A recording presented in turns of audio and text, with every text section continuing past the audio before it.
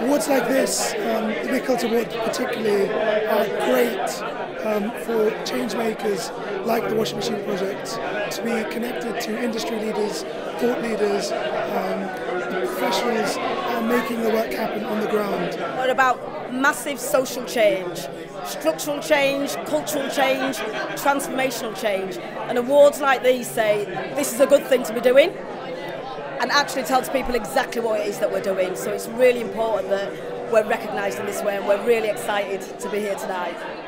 It's just a tremendous boost and learning as I've learned more about what Nichols have done, I'm just more and more impressed and, and really encouraged by what they're doing and obviously encouraged by this award. So yeah, it's great. You are delivering positive change in the world and you've de dedicated your time to helping others and you are transforming many, many lives. Now to the presentation.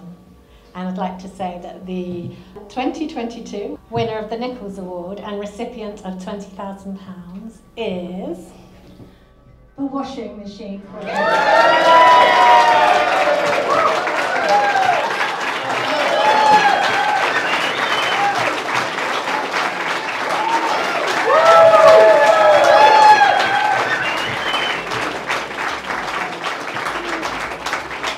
Thank you so much. The recognition, the credibility, the impact, and the resource. This is going right into distributing more machines around the world and alleviating the burden of, of hand washing clothes and giving back the, the dignity of clean clothes.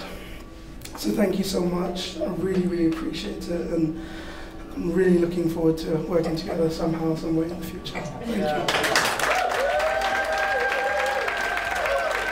You know, as soon as I walked through the door, um, I felt so welcomed. What I'm going to take away is warm, fuzzy feeling that you know we have family here at the Nichols Group, and you know beyond this award, we can work together and try and get more machines out there, more impact, uh, and helping more and more people's lives.